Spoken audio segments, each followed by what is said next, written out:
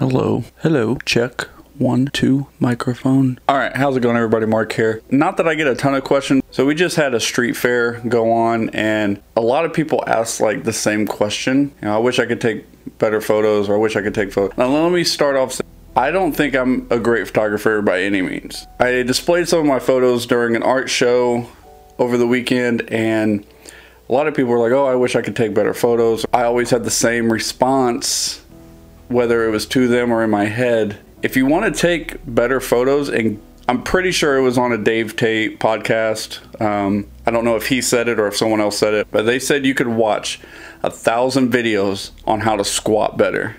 But until you get in the gym and actually start squatting and getting those reps in, you're not going to become a better squatter. You're just going to be someone who watches people squat. You know what I mean? So you're not going to be better yourself by just watching a ton of videos. You actually have to get out and go do those reps. And it's the same thing with photography. I honestly believe that the best way to become a better photographer for free is to get reps in. It doesn't matter if you have a digital camera or a film camera. Go out, shoot photos, get better. Simple as that. I'll go out to local spots multiple times throughout the year and just try to get different angles. Maybe I, I shot on this side last time, now I want to go shoot on this side. Maybe I missed something. I feel like I've been shooting my whole life and composition is still something I struggle with. Like I have to, I, I'm a very slow person when I go out and I like to sit and look and it takes me a little bit to find something that catches my eye. Sometimes it comes fast with other people and that's fine.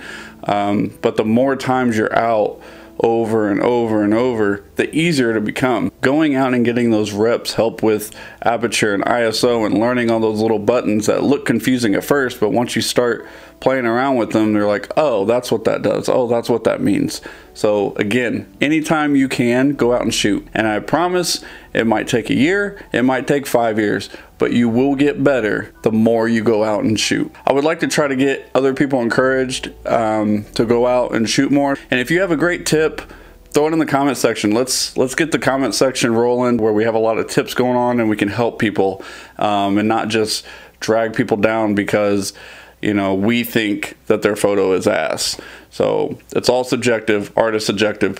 While you might think a photo is ass, I might think it's awesome. So let's be encouraging. Let's get in the comment section and start encouraging people to go out and shoot more. So hope you guys enjoyed the video. Thanks so much for watching and I'll see you guys in the next one.